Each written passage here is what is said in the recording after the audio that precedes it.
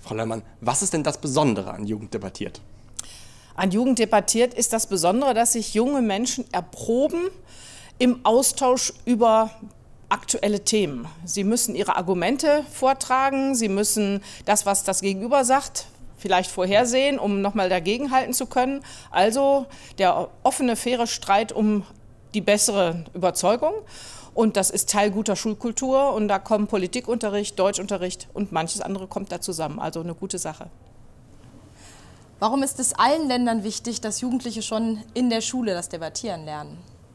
Es ist ganz wichtig, dass junge Menschen für ihre Überzeugung eintreten, sich aber auch mit der Überzeugung anderer auseinandersetzen. Das ist das Wesen unserer Demokratie. Mhm. Und das sollen Kinder und Jugendliche natürlich in der Schule lernen von Anfang an. Und deswegen ist Jugend debattiert eine gute Möglichkeit, sich daran auch zu messen und in solchen Wettbewerben mitzumachen und sich zu erproben. Worüber würden Sie denn gerne mal mit Jugendlichen debattieren?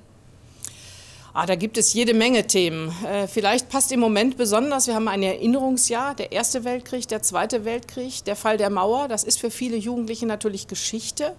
Aber was wollen Jugendliche für Formen haben, äh, aus der Vergangenheit für die Zukunft zu lernen? Was ist da angemessen, was ist da sinnvoll? Das fände ich spannend, mit jungen Leuten herauszufinden. Dankeschön.